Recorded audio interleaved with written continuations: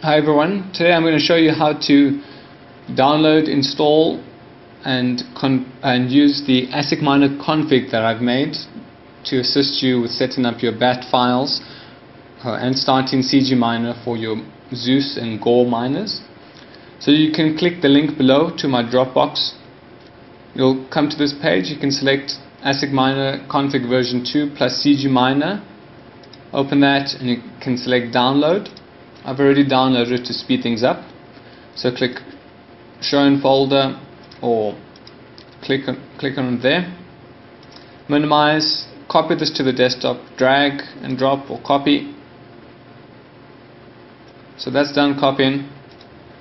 Open up the folder, select ASIC Miner config version 2. You can click more info, run anyway. So as you can see, here's this video will be linked to this after I upload it. Zeus Miner and GAW Miners, if you select that, you can select your Fury, Black Widow, Falcon and War Machine. And all that does is changes the chip value. The same for the Zeus Miner, Lightning, Thunder. So if you know the chip value or if you have a custom build, you can insert the chip value there. The clock speed, I've seen some people use 328 with some good results. And over here is the COM port. So if you see here, COM port 6, this is not the COM port of the miner. This is the COM port that's available on this machine. So what you can do, you can click Windows drivers and download them. And then I've already downloaded them. So I'm going to install it here double click them. Yes. Next. Agree. So while that's installing I've connected my miner. Okay there we go. I've collected my blizzard. So if you click refresh we should see another COM port here we go. COM port 9 has been added here. After clicking refresh COM port 9 is available. So I'll just paste in the Stratum server put in my username. Alright, so I'm going to click start. Now you see, one important thing, you have to click add to add the COM port. No COM port has been added, click OK. Click on add, there's the COM port added. Now if I click start,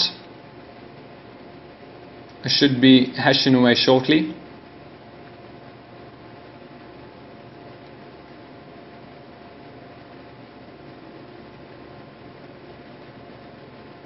So there we go, we have a few accepted shares there.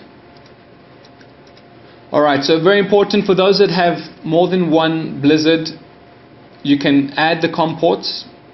You can click add and it'll add COM ports and you can start and it will start with the configs for that, that I've added here. Uh, very important, you cannot run your Blizzard and Lightning with the same instance of CG Miner. So what you can do is start co copy this folder twice and you have one running the lightning one running the blizzard on the different ports.